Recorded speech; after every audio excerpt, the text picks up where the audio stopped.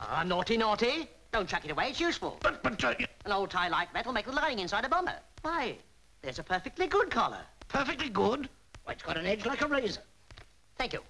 We'll make this into maps, charts for the Navy, instruction sheets. Good morning. Well, uh, oh, all right, if you say so. No, no, no. Come, come. You mustn't throw away old dusters. They can be made into gun wadding, or maps for tanks or bomber crews. Any old string oddments, sheets, pillar slips, overalls. No, don't forget. Good morning.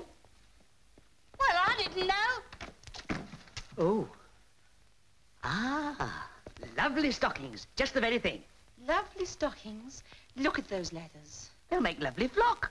The stuff they use to pack delicate instruments in. Now, if you have any old frocks, swimsuits, babies wear, No. no? Yeah. Just put them all into salvage. There's a good girl. I hope.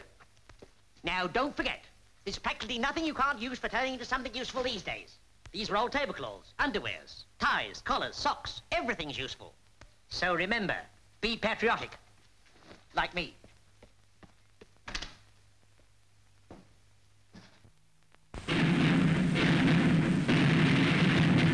This